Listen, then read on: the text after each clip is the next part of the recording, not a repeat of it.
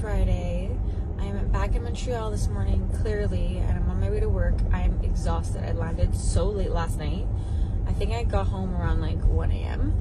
Um, but all good. Back to work, back to my clients, and I'm taking you along for a day in my life. Let's do it. Can I just get a uh, grind? How are you? This is so corporate of me. Amazing new skincare from the Murad brand. I'm so excited.